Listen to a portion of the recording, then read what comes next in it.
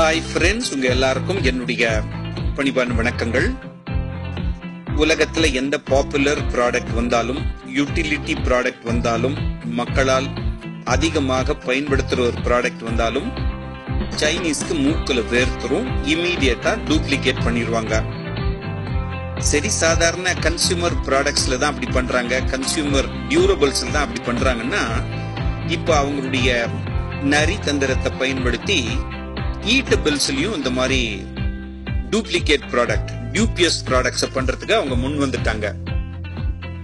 வெஜிடபிள்ஸ்ல எல்லா கடைகள்லயும் ரொம்ப ஃபேமஸா இருக்கிற நாலஞ்சு ப்ராடக்ட்ஸ்ல இந்த கேபேஜ்னு சொல்ற கோசும் ஒன்று. அது செடியில வளர்ந்து தான் நம்ம வீட்டுக்கு வருதுன்னு நம்ம நினைச்சிட்டு இருந்தா இனிமே அந்த ஐடியாவை மாத்திக்கங்க.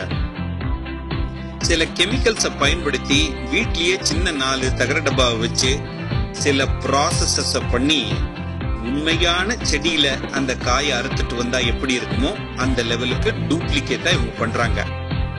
நூறு ஒரிஜினல் கோஸோட இது ஒரு ஐம்பது காய் வச்சா கடவுள் உள்பட யாராலையுமே கண்டுபிடிக்க முடியாது என்பதுதான் உண்மை. அதை நீங்களே இந்த வீடியோவில் பாருங்க. ஜாகிரதையா இருங்க நண்பர்களே.